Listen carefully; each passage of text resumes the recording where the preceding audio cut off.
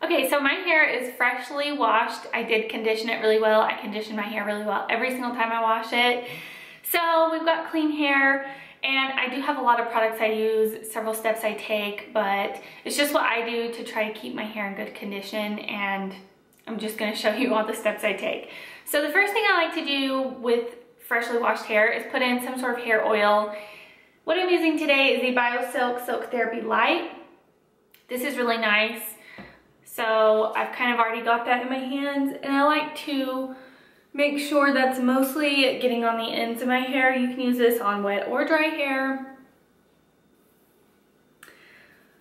So I'm putting that in. Now I'm going to put a leave-in conditioner. This is from Aussie. So this is just what I have. My fingers are slippery and I cannot get the cap off. Okay, this is just what I have. So I'm going to use. Again, with that product, I like to focus it mostly on the ends of my hair because that's really what gets dried out. Okay, next step is a root boosting product. This is from Tresemme. This is the Beautiful Volume. And it's just a mousse. I actually really, really like this stuff.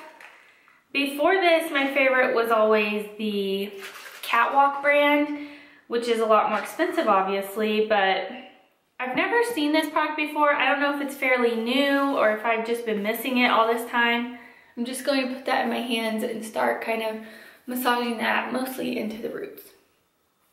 So I don't know if I've been missing this product all this time, but I think I might actually like this even more than the Catwalk one. So last thing is a heat protectant spray. This is from Garnier Fructis.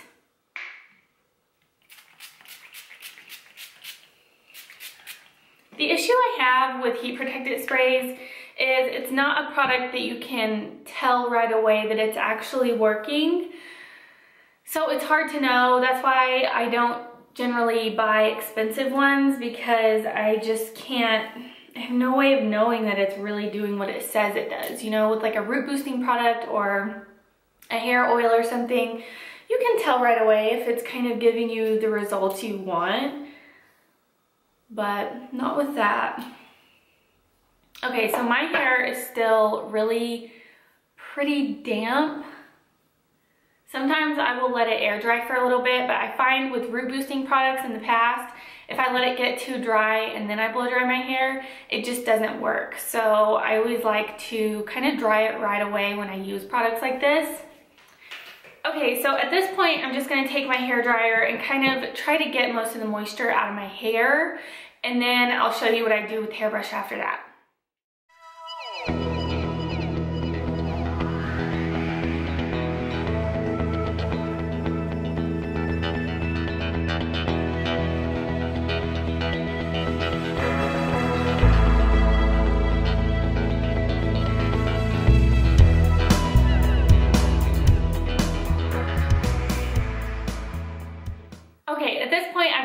Dry. So now I'm going to take my Vented hairbrush, and this is my favorite thing to use for my hair. I just think it works well. The air is able to pass through the brush, and I think that helps get your hair dry faster.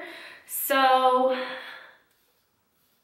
I really just use this to try to get the curl and wave out of my hair. The longer my hair is getting, the more curl that I'm starting to see come back in and I kind of forgot how curly my hair really is. So my bangs here might be a little bit too dry actually, but pretty much when I use this thing, especially with these hairs on the top, I like to just flip it back and forth from side to side, really get it going in different directions and kind of pulling the hair through the brush to try to straighten it out.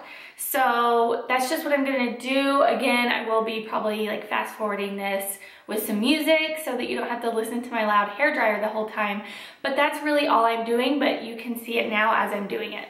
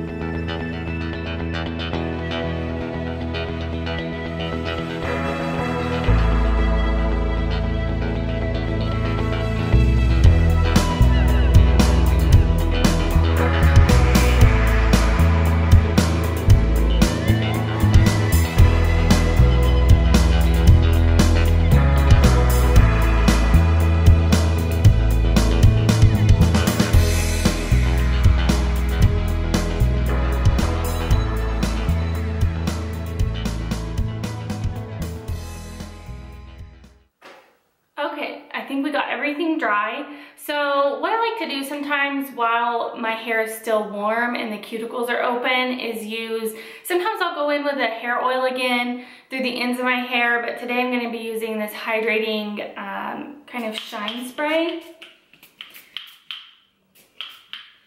And I do this, like I said, when the hair is still warm because it'll absorb it better than if the hair has cooled off um, and the cuticles aren't open anymore. So that's what I like to do. So you can see my hair isn't super curly or anything anymore. So it makes it easier when I go in with my flat iron to just quickly touch up a couple little spots. And also, I mean, I don't know that this is true, but in my mind, I just feel like using a hair dryer probably causes less damage than two really hot plates like surrounding your hair and pulling through it, just in my mind. So I like to do most of the work with my hair dryer and then, like I said, touch up with the straightener after. Okay, now on to the straightening part of this. You can see these hairs really curl under. They always do that and I don't know, I can't really always do a lot about it because recently we've had a lot of humidity here and um, they start curling under even after I've tried to fix it. My is really tangled here. Okay, so I'm just running this through here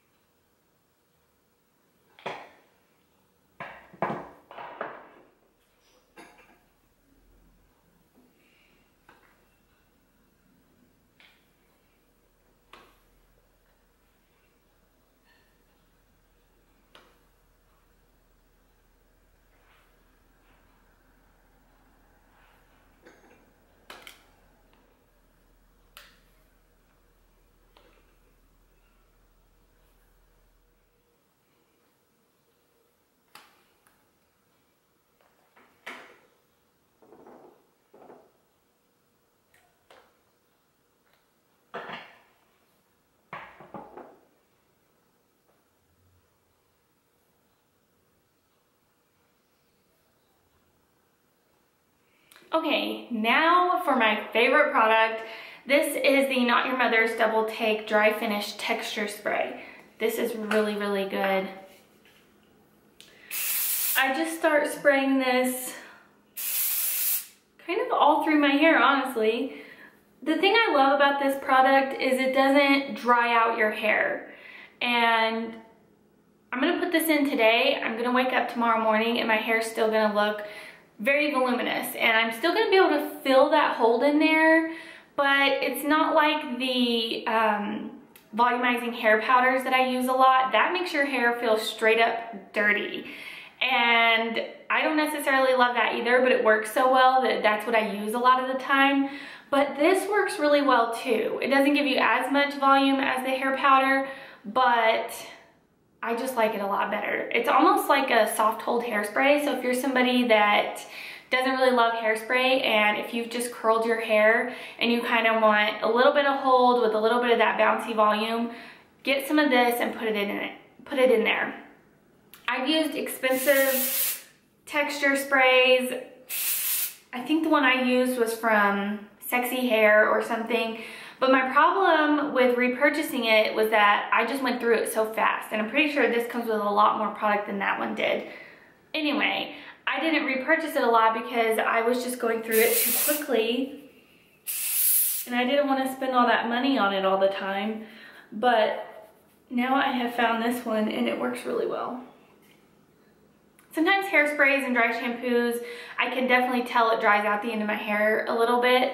But like I said, this just doesn't do that. So I'm using this product more and more. So you can see how much amazing volume that gives my hair. I love it. but I am, there's a hair somewhere in my eye. I am gonna go ahead and tease my hair a little bit just to make sure that it's going to stay all day.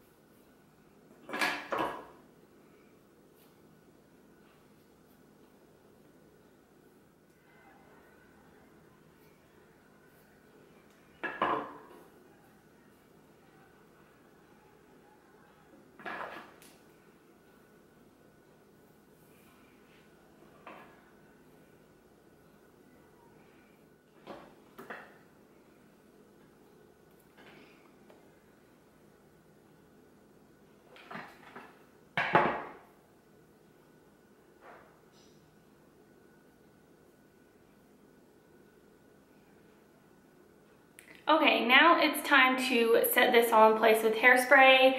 I'm using my Herbal Essences Body Envy Volumizing Hairspray.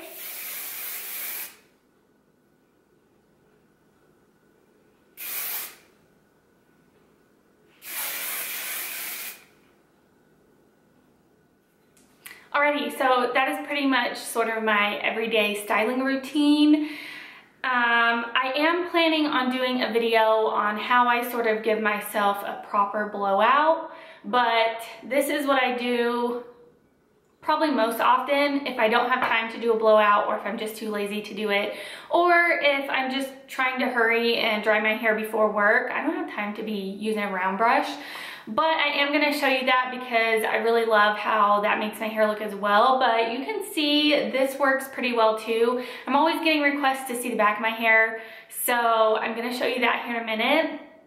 Also, I want to say if you wanna see a full list of all the products that I used, click the link in the down bar for my blog. I just started it. I'm a little nervous about it. I don't know what I'm doing at all. So if any of you have any tips on blogging, let me know because I could use the help. Also, my hands look kind of bad. My I don't even need to go into it. I'm just sorry that they look orange.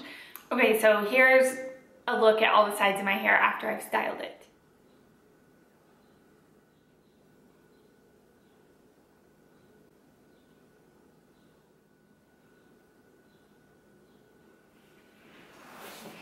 Um, Anyway, I hope you guys have a great day. I hope this was helpful and you enjoyed it. Let me know anything else you'd like to see in the comments and I will see you next time. Bye.